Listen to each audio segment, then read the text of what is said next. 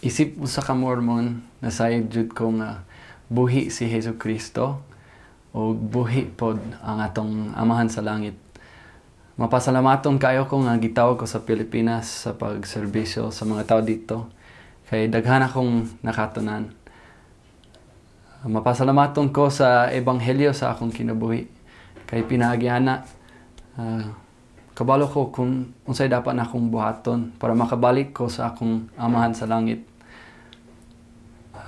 Kabalo pod ko nga bisag unsa mahitabo sa atong kinabuhi mga pagsuway mga babag um, maka-overcome ta sa maka-overcome ta pinaagi sa pagsunod sa mga kasuguan. Ug nasayit ko nga tinuod jud kining simbahan ang simbahan ni Hesus Kristo sa mga santos sa ulahing mga adlaw. Ug um,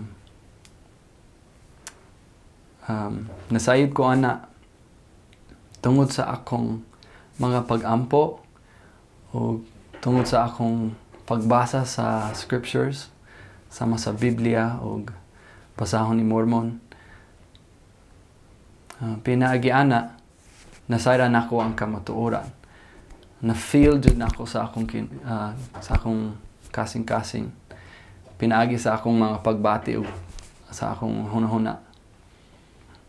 Um, musaad jud ko sa inyo kung um, magkat-on mo sa Ebanghelyo ni Hesus Kristo, kung maminaw mo sa mga misyonaryo um, sa among simbahan, daghan jud inyong mabati o makatunan nga nga nindot kaayo. Og nasayit ko nga uh, tinod nga propeta si Joseph Smith ug pinaagi niya uh, gipahiuli ang ang simbahan diri sa kalibutan. Ug kompleto siya. Walay kulang.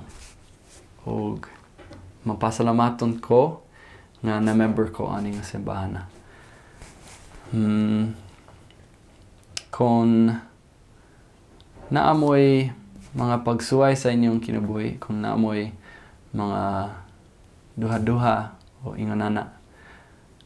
Um, mm, pwede ninyong madawat ang kahupay o kalinaw sa inyong kinabuhi. Pinaagi, pinaagi ani.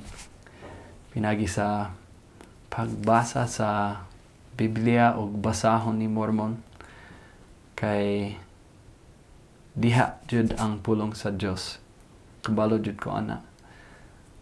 Ug kining tanan akong gipaambit sa ngalan ni Hesus Kristo amen